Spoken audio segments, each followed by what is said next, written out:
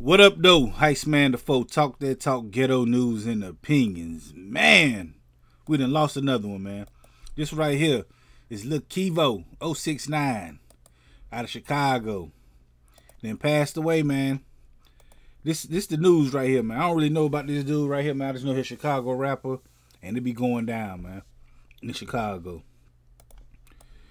Oops, hold on. I'm looking for the um the tweet right here. This is the tweet right here, man. This is some of the stuff that was saying. Like, man. Woo!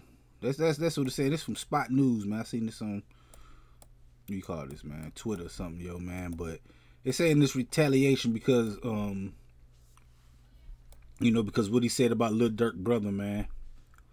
DThang not too long ago, man. Cause D DThang passed away and then he come out with him a little diss, man. This Chicago stuff is crazy, man. But all these untimely deaths, man. I, I don't even want to get into it, man. But R.I.P. to him, man. 069, yo. I don't know the cat.